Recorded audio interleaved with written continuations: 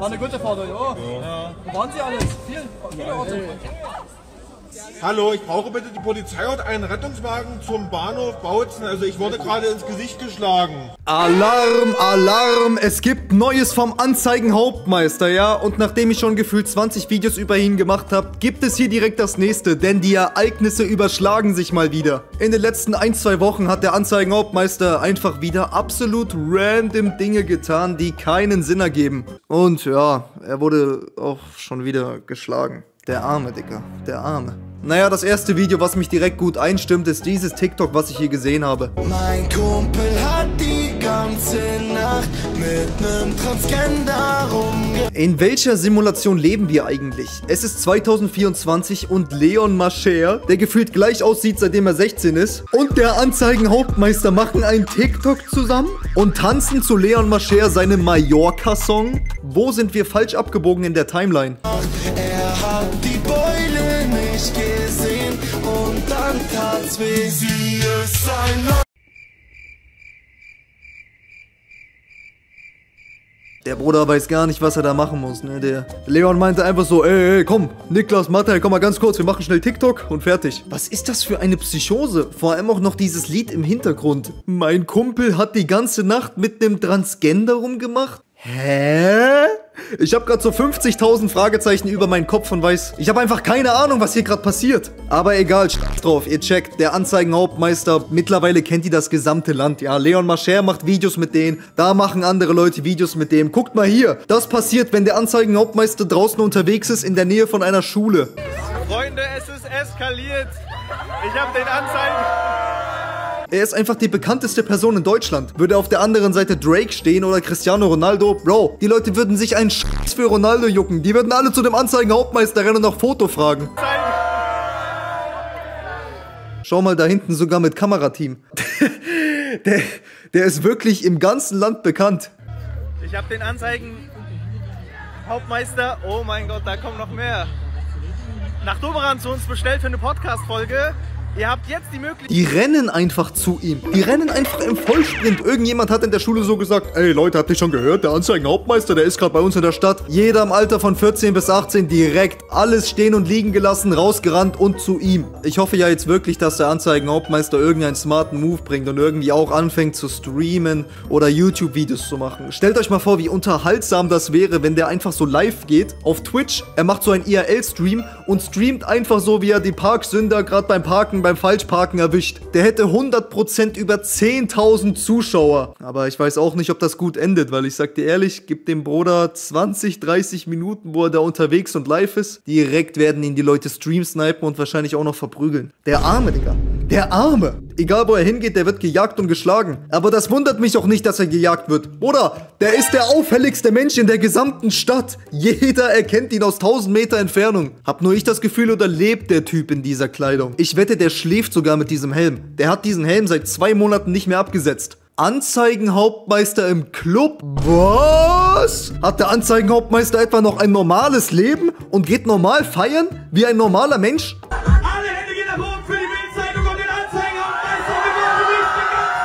Ah ja gut, drauf. Wenn ich ihn da schon wieder sehe mit seinem Anzug und seinem Helm, ey, der geht wirklich überall hin damit. Der geht einkaufen damit. Der sitzt am Sonntags am Mittagstisch mit seiner Familie so, alle sind normal drauf und der Bruder trägt das. Der trägt auch das und ist auch da in seiner Rolle. Lauf auf Schocks und chill meine Fitness Rosenthal. Der chillt da einfach im Club hinter dem DJ-Pult. Der Bruder ist VIP. Der steht da oben, hat seine eigenen Flaschen auf dem Tisch und unten warten nur die ganzen Chayas, die ganzen Chicks, die ganzen Groupies, die ganzen Fangirls von ihm und sagen, oh mein Gott, Anzeigenhauptmeister, bitte hol mich hoch, bitte, bitte, ich will zu dir hoch ins VIP. Denkt ihr, das ist passiert? Denkt ihr, der Anzeigenhauptmeister hat einen von diesen Moves gemacht und hat einfach so einen Groupie da abgeschleppt und hat die einfach gepullt, nur weil er der Anzeigenhauptmeister ist? Ja, ich glaube nicht. ich glaube echt nicht. Ich verteile die Päckchen, dicker als ob du kleiner Terrorist bist. Auf einem Film war ich mit. Der verteilt sogar die Getränke im Club. Boah, was ist das für ein geiler Abend? Stell dir vor, du bist so mit deinen Jungs feiern in diesem Club und du denkst dir nichts, du hast doch keine Ahnung, dass irgendwie der Anzeigenhauptmeister heute da ist. Du bist schon so voll suftiger, voll Rille und auf einmal steht der Anzeigenhauptmeister neben dir und drückt dir einfach so ein Bier in die Hand. Boah. Perfekter Abend, wirklich. Besser geht's nicht. Ach und by the way, Freunde, ich habe jetzt auch noch einen Zweitkanal, der heißt Bennert der Kleine. Einfach nur so, okay? Ich habe nichts an mir, was klein ist oder so. Ich habe das einfach nur so genommen, diesen Namen, okay?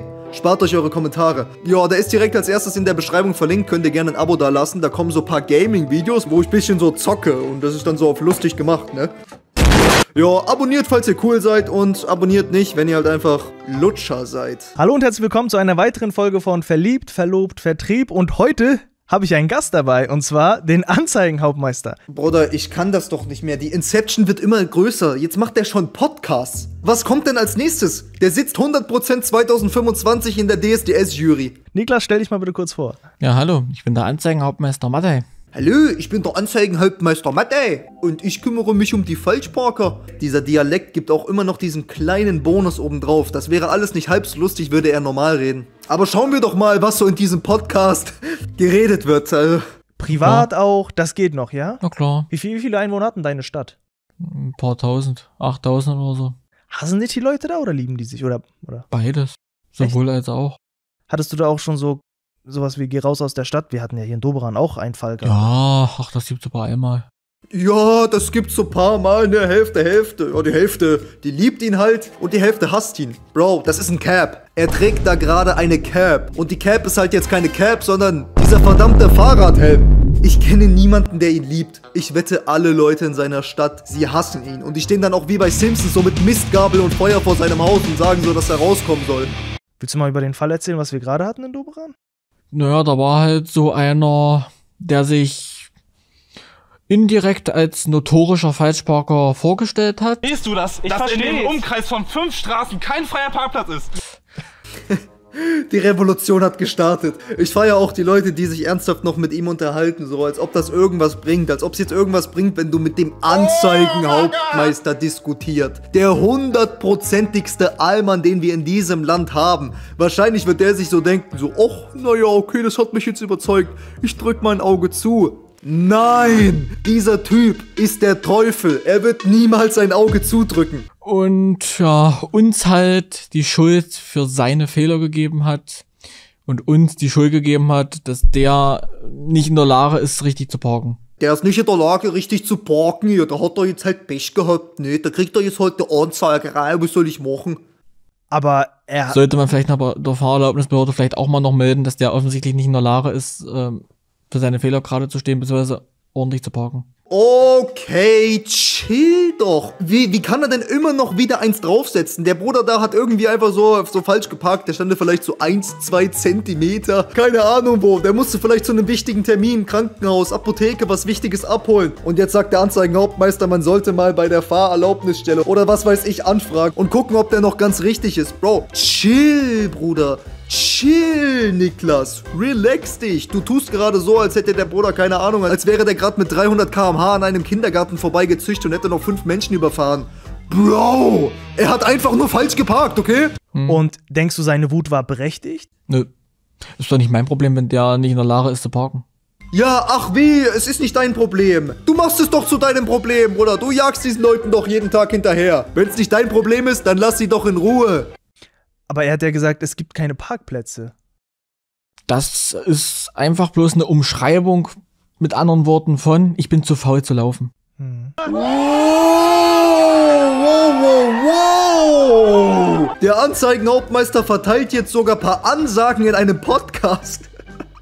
Was kommt als nächstes? Distrack? Macht er bald einen Distrack gegen alle Falschparker? Ich würde mir den auf jeden Fall reinziehen. Und ich predikte es euch jetzt schon mal, 2024 wird es den ersten Distrack vom Anzeigenhauptmeister geben. Neues Anzeige Hauptmeister geben. Jetzt Glück, komm rein. Ihr wollt mir sagen, der Typ hat sein eigenes Spiel? Ihr wollt mir sagen, irgendjemand hat sich gedacht, hey, der Anzeigenhauptmeister ist jetzt gerade im Trend. Ich, ich mache jetzt einfach mal ein Game über ihn. Bro, das ist wirklich der dreisteste Cash Grab, den es gibt. Der Ersteller von diesem Spiel, der hat doch safe nicht diesen Anzeigenhauptmeister gefragt. Nein, der hat das Spiel einfach gemacht und für 5 Euro angeboten. Für 5 Euro! Das ist echt gottlos, aber ich feiere das. Respekt der Hustle. Ich kann mir auch nichts Geileres vorstellen, als mit meinen Jungs so uns am Abend zu treffen äh, auf Discord und dann ein bisschen den Anzeigenhauptmeister-Simulator zu spielen. Es gibt eine Anzeige wegen Beleidigung. Das gibt eine Anzeige wegen Beleidigung. Ey, da würde ich aber vorsichtig sein, ja, wenn du auch noch seine Stimme benutzt. Bro. Und das ist nicht abgeklärt mit ihm. Bro, dann schon mal viel Spaß mit einer Anzeige, weil wenn er das Wind bekommt, dass irgendjemand mit seinem Namen Geld macht, Bro, der wird dich anzeigen. Der wird dich auseinandernehmen. Der wird dich wirklich auseinandernehmen. Genauso wird er dich auseinandernehmen, wie er auseinandergenommen wurde. Ich weiß nicht, ob ihr das mitbekommen habt, aber es ist da so ein Video aufgetaucht. Da hat mal wieder der Anzeigenhauptmeister sich mit irgendeinem Falschparker gestritten. Das tägliche Drama. Man kennt es doch schon mittlerweile. Und jetzt schaut mal bitte drauf, wie der Anzeigenhauptmeister wirklich einfach nur die Leute anzeigen will und nach den Fehlern sucht. Kein Problem. Ich kann es auch auf den Boden knallen, gerne. Kein Problem. Das Dann. War, er hat sich fallen lassen. Ja, aber du hast mich betrogen. Äh, Moment mal, Moment mal, Moment mal. Ist der gerade so hingefallen? Ich muss das doch mal sehen. Der wurde doch jetzt bestimmt irgendwie voll heftig geschlagen oder geschubbt oder keine Ahnung was. Lass mich das nochmal untersuchen. Dann. Alles klar. Der hat kurz diesen, äh, diesen, diesen Cringe-Emoji hat er nachgemacht. Dann.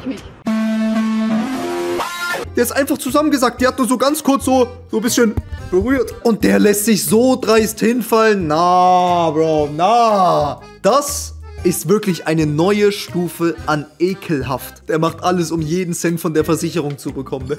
Was willst du sagen? Ey, Bruder, du wurdest gebastelt. Ich weiß nicht, ob du es merkst oder so, aber während du dich gerade dort hinfallen lassen hast, ja, die Schwalbe des Jahrzehnts gemacht hast, stand hinter dir dieser eine Bildreporter mit der 60.000 Euro 5 Meter großen Red-Kamera und hat alles in 4K eingefangen. Bro, du wurdest schon gebastelt, bevor du es überhaupt mitbekommen hast. Ein Rettungswagen rückt an. Der selbsternannte Anzeigenhauptmeister kommt ins Krankenhaus. Ey, halt's Maul, nee. Halt bitte dein Maul. Du willst mir nicht sagen, du hast den Notruf dafür missbraucht? Dafür. Dann. Das kann nicht sein Ernst sein, ne? Jetzt übertreibt er völlig. Also davor mit den Falschparkern war krass. Aber dass er jetzt dafür diesen Krankenwagen-Einsatz wastet? Er müsste jetzt eigentlich eine dicke, fette Anzeige wegen Notrufmissbrauch kassieren. Das kann doch nicht sein Ernst sein, bitte. Ich wette, das passiert auch mehrmals unter der Woche. Da wird mehrmals am Tag vielleicht sogar der Krankenwagen gerufen. So, ey, ich wurde hier gerade schon wieder angegangen. Ja, aber manchmal ist es ja tatsächlich auch zu Recht. Denn der Anzeigenhauptmeister war vor ein, zwei Tagen live. Ich weiß nicht, ob es Instagram ist oder TikTok, aber sieht mir nach Instagram aus. Und hatte einen Livestream gemacht. Und das ist da drin passiert. Nee, das ist noch nicht der Bahnhof, oder? Doch.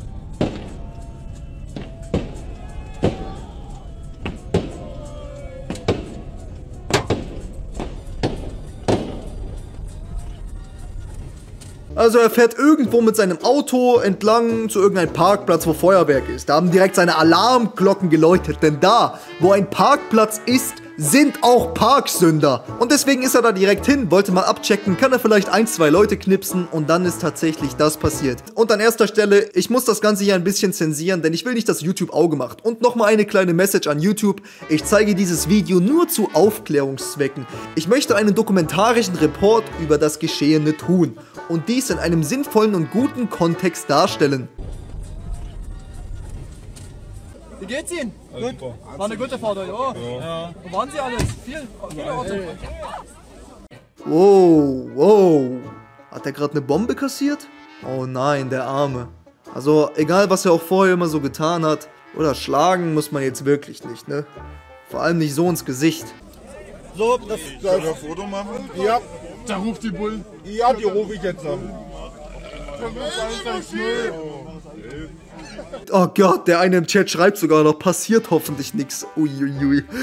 Also das ist nicht gut gealtert, Bro. Das ist gar nicht gut gealtert, diese Nachricht. Und jetzt chillt der Anzeigenhauptmeister da drin und jetzt wird natürlich auch erstmal die Polizei gerufen. Aber diesmal finde ich es auch wirklich korrekt und richtig. Ey, jetzt tut er mir wirklich leid, Mann. Das geht echt nicht. Der Arme, Bro, der Arme. Ich habe jetzt vielleicht kurz gelacht oder so. Habe jetzt auch wieder vielleicht kurz gelacht, aber das meine ich auf Ernst. Das tut mir wirklich leid. Ja. Alles gut, Niklas? Ich rufe jetzt die Polizei und einen Rettungswagen. Ja, machen wir. Ja. Würdest du? Kannst du noch? Alles gut? Ja.